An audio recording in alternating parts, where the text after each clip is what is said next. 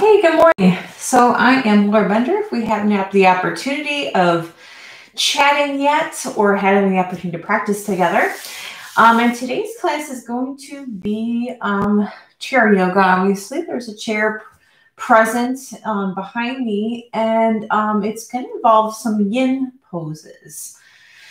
So, if you're not familiar with yin, um, to kind of give you a little background, so the poses are held uh, three to five minutes. Uh, we want to have the, our muscles cold. We don't want to have like we just worked out and then we're doing this. Um, so we want to have the muscles cold in this position. And we're going to utilize the chair for part of the practice, actually seated in it. And then we might actually use it then for um, a prop in the port. So we're going to start seated using the chair. And then we're also going to do some seated postures on the floor or some postures that are on the floor. Um, so for this practice today, I grabbed a couple blankets, um, a bolster, blocks. Um, again, just kind of use what you have. You don't have to use props for yin practice at all. Um, I just prefer just for myself because I this is you know I know my own body. Um, but again, just kind of feel it out. You know, maybe your edge doesn't require you to use a blanket or a block or whatever. Um, so I want you to feel comfortable in your own body and just kind of deciding what you want to do for your practice. Um, so let's go ahead and get started. I'm going to make my way over to the chair. And we're going to start today in a seated position in the chair. And if you have blocks, go ahead and grab them. And there's a couple different options you can do with these blocks. Um, I'm actually just going to do, let's see, I'm going to have them there. Actually, that's all I'm going to use is the box, I think. Um, so I'm going to place them in front of me. And um, we're going to start with like a little bit of a hip opener. Um, so I'm going to take my right ankle and just start by crossing it over my left thigh. Um, now you notice that I have my foot active here. Um, we do want to have some, um, you know, some flexion in this foot, some flexing in the foot just to kind of protect our joints. Um, but it doesn't have to be a complete and utter engagement. All right, and then what I'm going to do from here, maybe I will use actually the prop as well. Actually going to take my bolster also. And again, this is not necessary, but it just will make me feel a little more comfortable since we're going to be here for a few minutes. Basically, from here, I'm just going to fold forward. So if you can just reach the blocks on the ground, uh, go ahead and use those. If not, maybe again, you can create something similar to this. If you have a cushion or something, you can um, maybe stack it on top of the blocks or uh, use it in some way to um, fold forward. So we're going to work on a little hip opening, a little stretching of the hip flexor today to start. And again, we'll just be here for a few minutes. So get comfortable.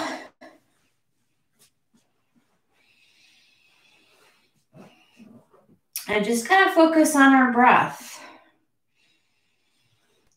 maybe this is what's going to bring us to our edge today, just allowing the flow of the breath.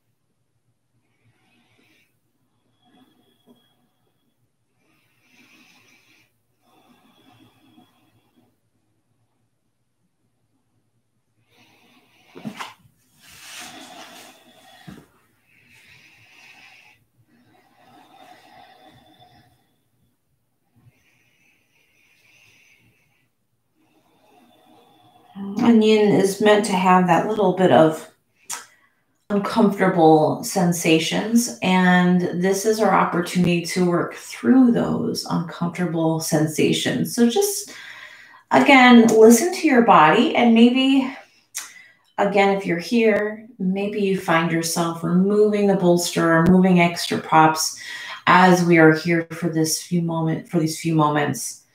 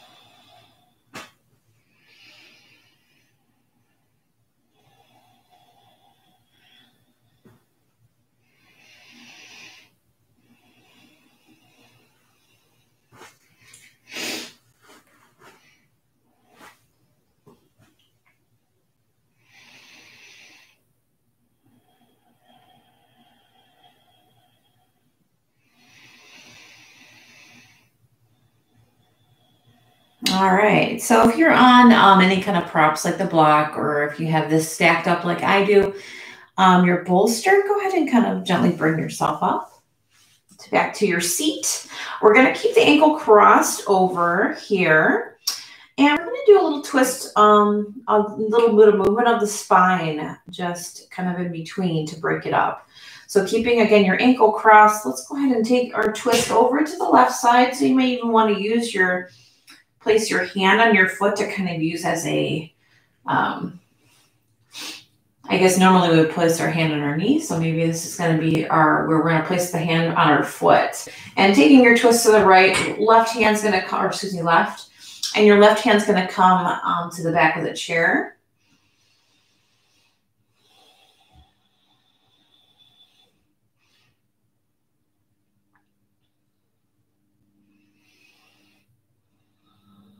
All right, then go ahead and slowly release that. We're going to take now the twist over to the right side. So bringing the left hand to the knee and just allowing the body to twist over to the right as the right arm comes to the back of your seat.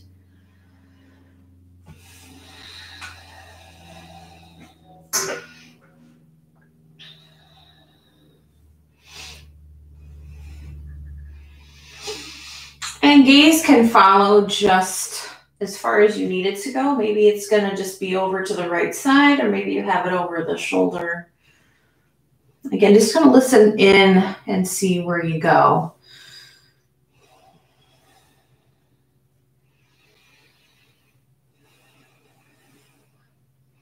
All right, go ahead and come back to center. Now we're going to take our leg and actually cross the leg over. So we're sitting kind of fancy now.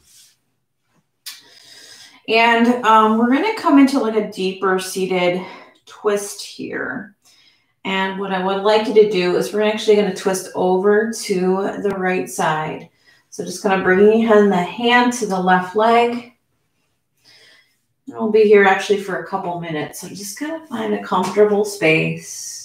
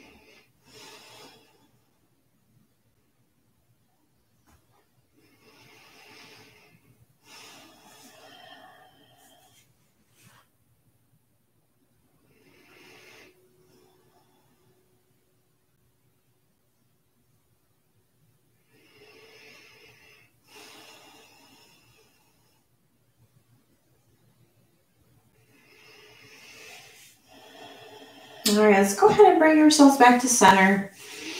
Again, start by crossing the leg, bringing the legs just down to the ground, back to that neutral position. All right, and then when you're ready, and I did have to adjust this in front of me, so maybe I might be okay still.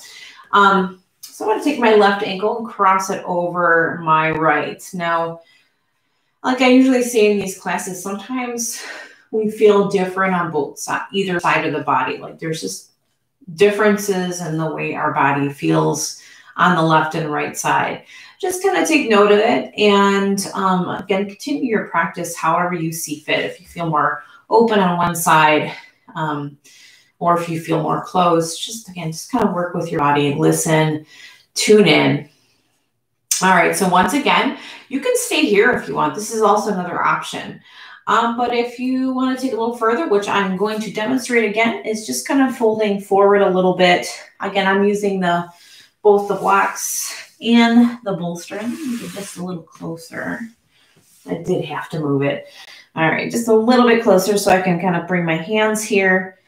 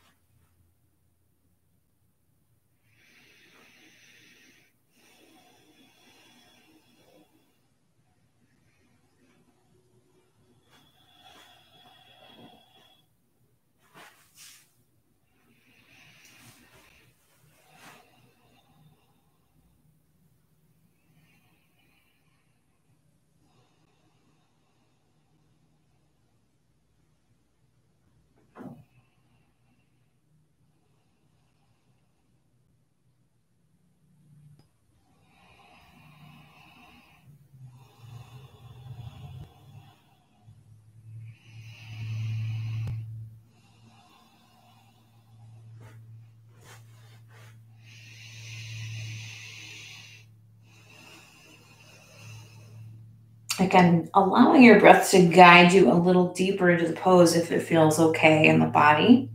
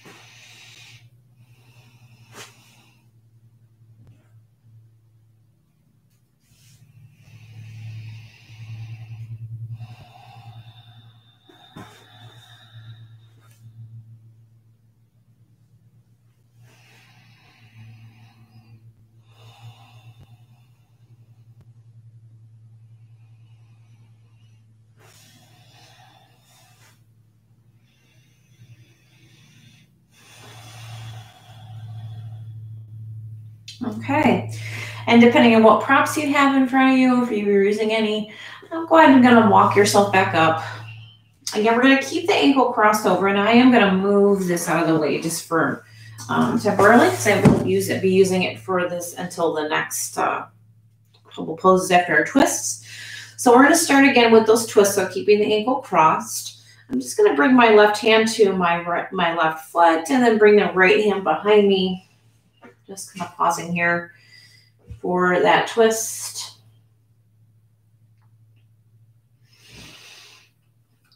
So this foot's kind of creating some resistance. That's the word I was looking for earlier. Just finding that resistance here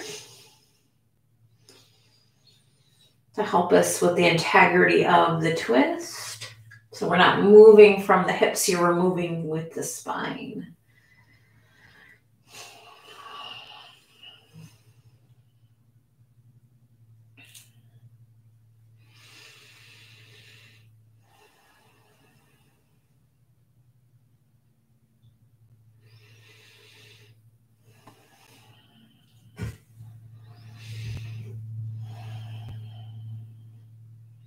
All right, go ahead and release it. Bring it to the opposite side. So this time my right hand's going to come to my left knee. And we're going to twist to the left side. So the left arm can just make its way to the back of the chair.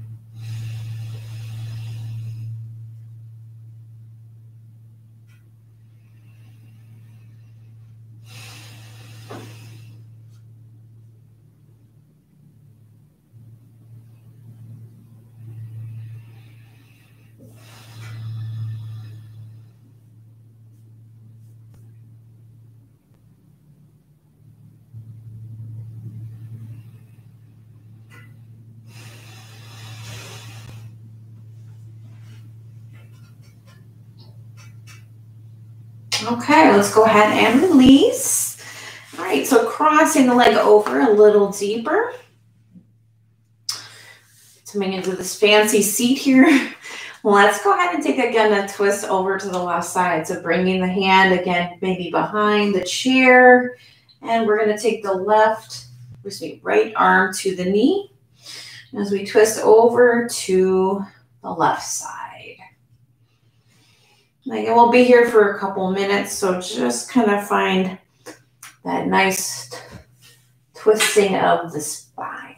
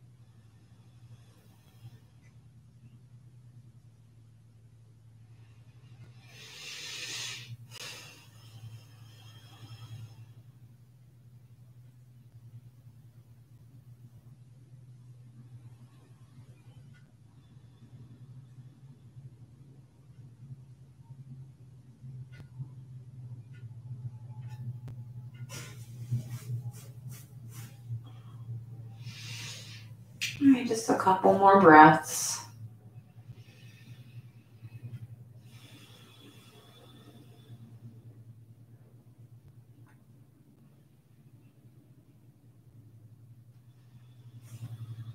All right, go ahead and gently bring yourself back to center.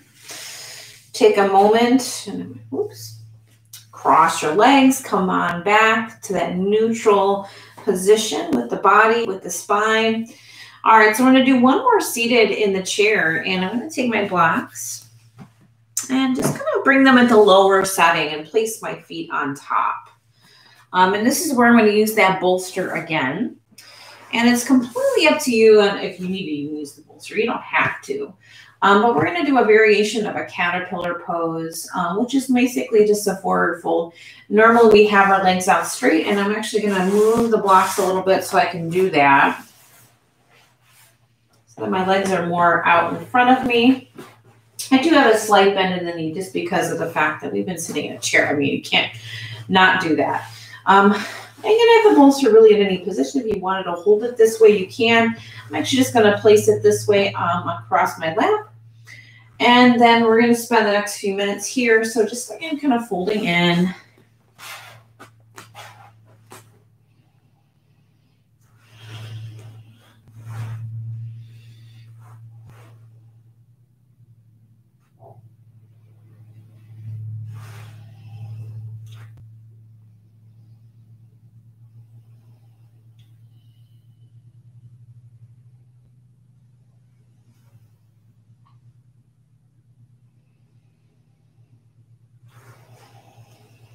And you can see here, you have a blanket, I can, I mean, I could always grab those blankets, but I'm just going to use my hands.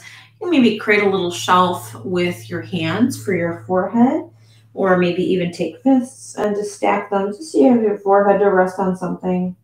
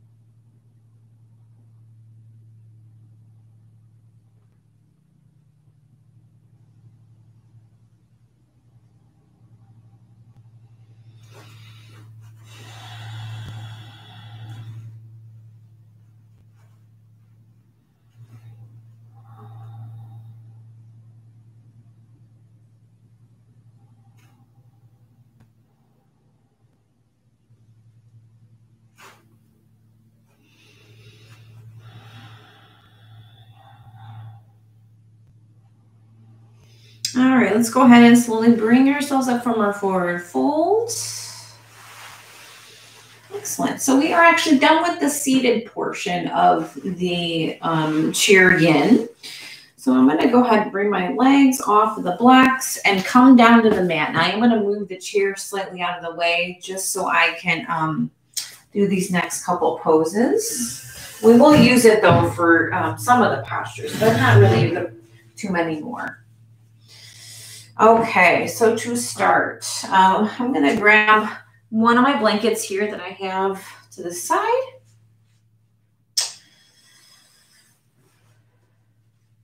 And I'm just going to bring it so that I have um, just some padding for my knees. You don't have to do this if you don't want to. Um, but again, this is something that's more comfortable for my body. All right, I'm going to come down to my hands and my knees. And I'm going to tuck my toes. So I have my toes just kind of gently tucked here. Move this off to the side so you can see. And going to start to walk my hands forward coming into a melted heart. Now, head again can come down to your uh, mat, or if you have a block here, if you have trouble, um, or even another blanket if you prefer. Um, the idea is keep the lip, the hips lifted. And you know, this feels good on the feet, so if you want to, again, keep them um, tucked as well. We'll just be here for a few minutes. Allowing our heart and our belly to melt down into the mat.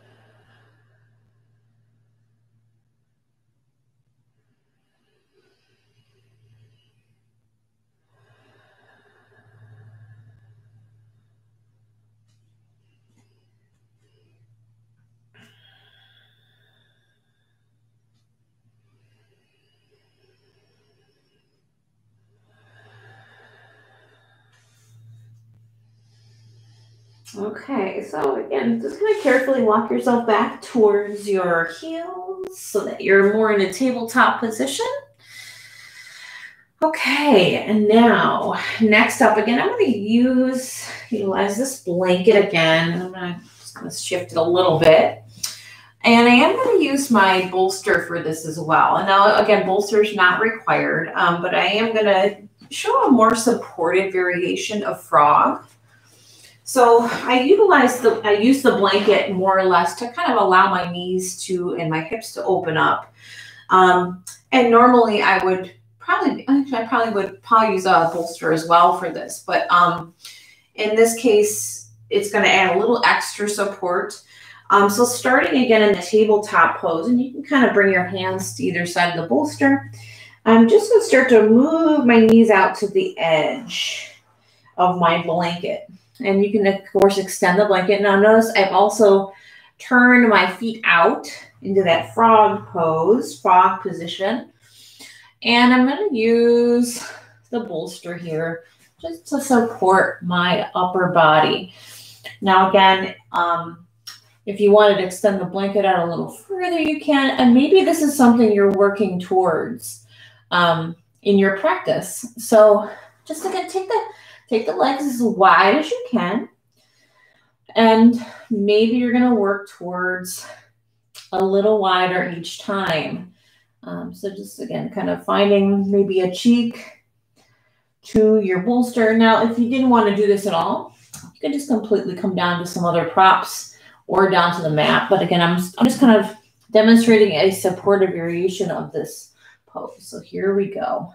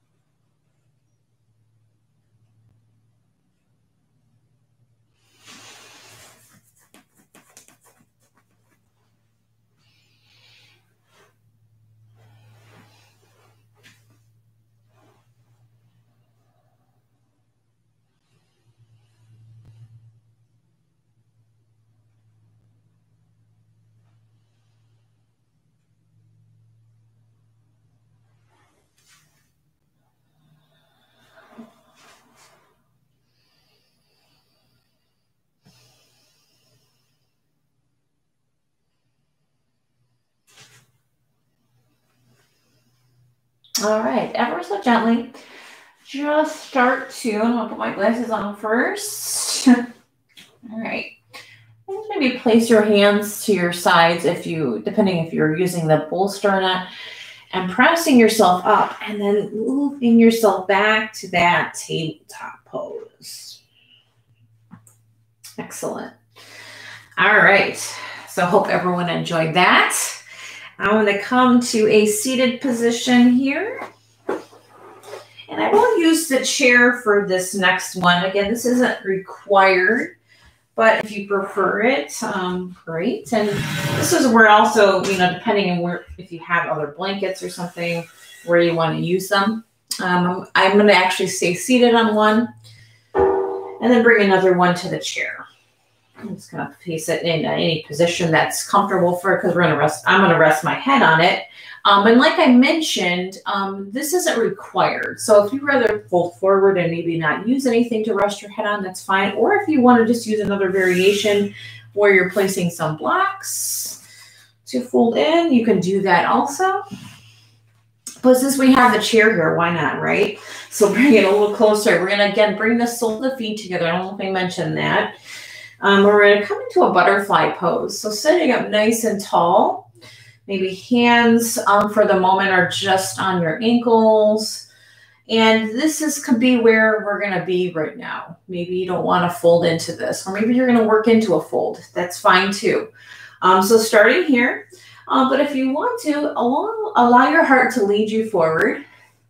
Again, maybe you're using blocks or this chair that's here. I'm just going to rest my forehead down. Let's see. Okay. And here goes the timer. All right. And this could be something too, or maybe you're adjusting where the chair is. You kind of again allow yourself to fold in a little deeper. Again, this is kind of different for you.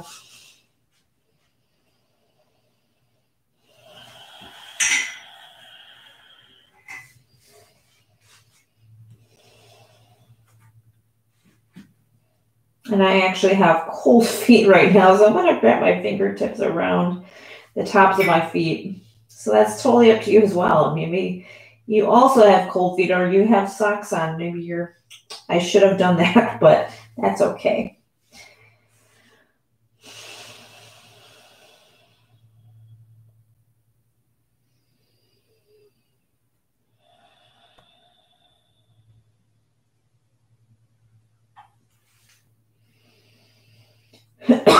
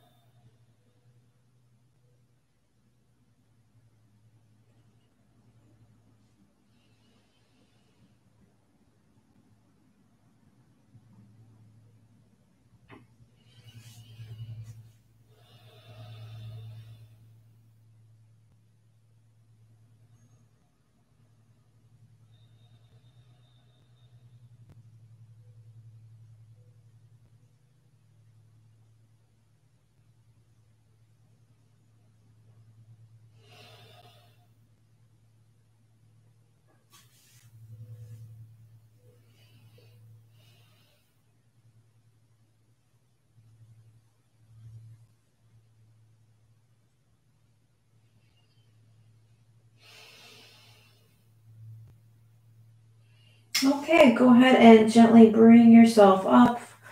Forehead maybe comes up if you were folded in. And then here we go. So we're going to take our legs now and extend them out into a straddle or fan pose. And again, using the same idea here, we're just going to allow our bodies to, this time we actually will fold forward.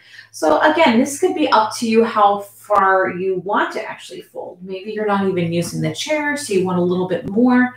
Or again, I'm going to actually demonstrate this using the chair today. So again, I'm allowing my heart to lead me forward as I rest the forehead down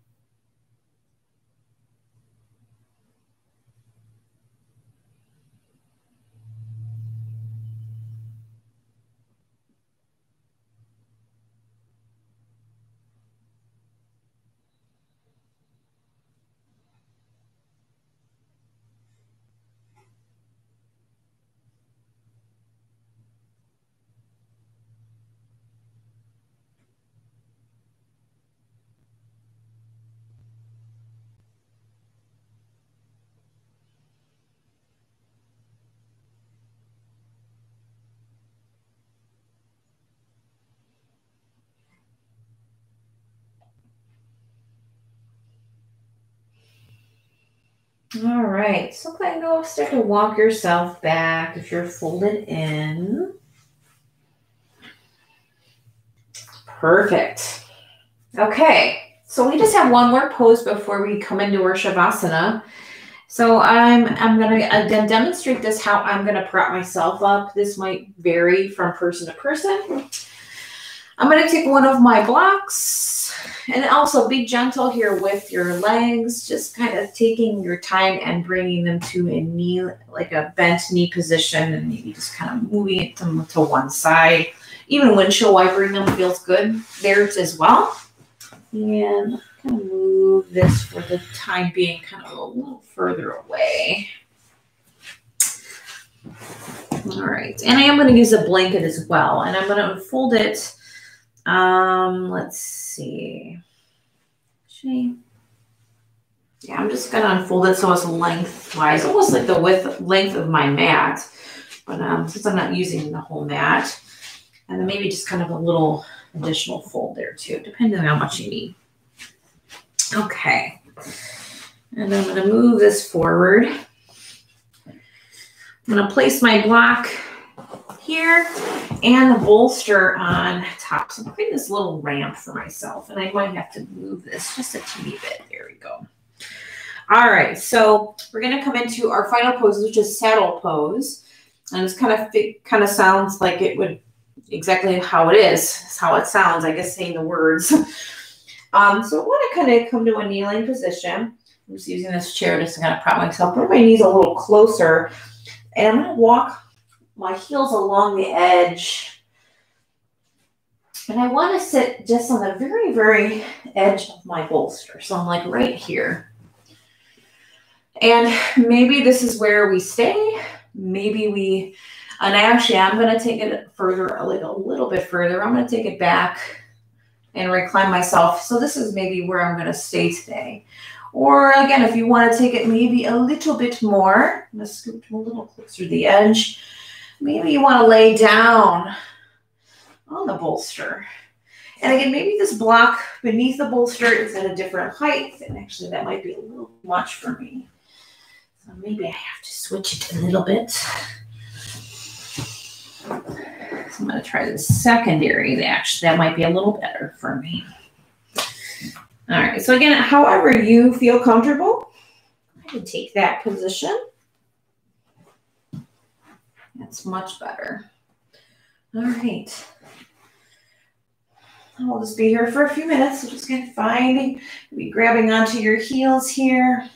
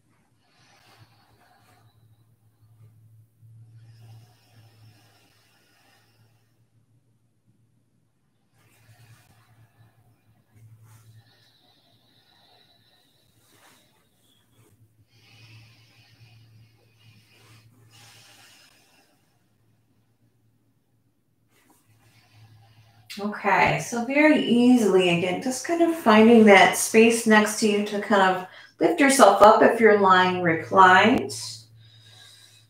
And easily kind of making your way back up to that kneeling position.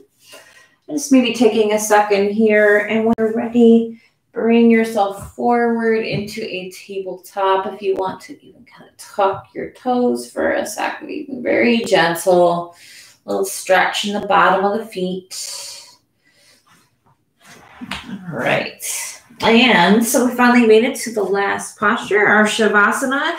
And usually my yin practices when I teach aren't very, the, the Shavasana is not very long. So we're going to stick to that rule.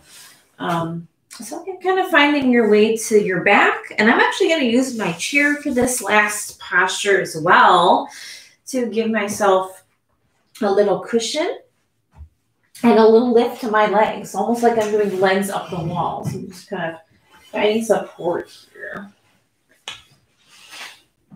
So I just kind of, if this is what you want to do, perfect. If you don't, that's okay too. So just take a couple moments to get yourself positioned however you like.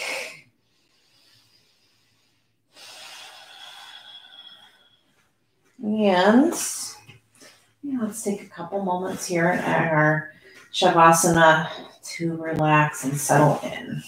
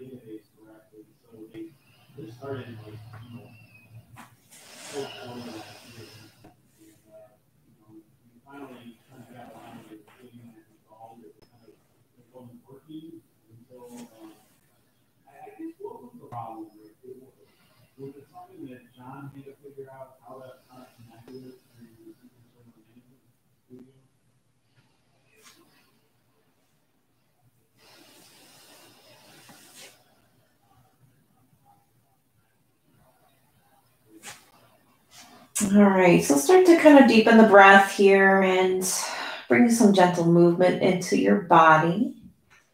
Maybe toes and fingers start to wiggle. Roll the wrists and the ankles.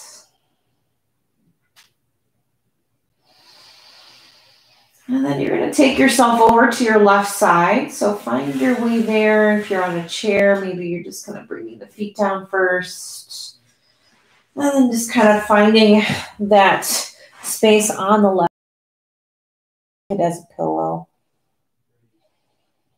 And just taking these last couple moments to bring in the yin energy.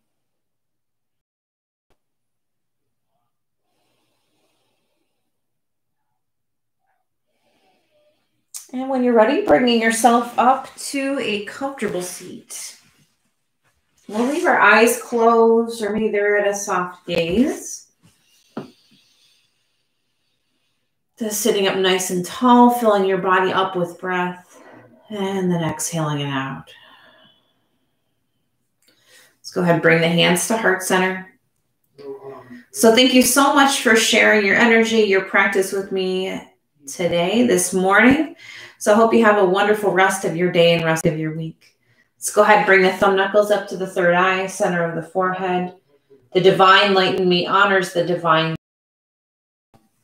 All right. Thanks again so much for watching this morning. Hope you have a great day, and I'll see you soon.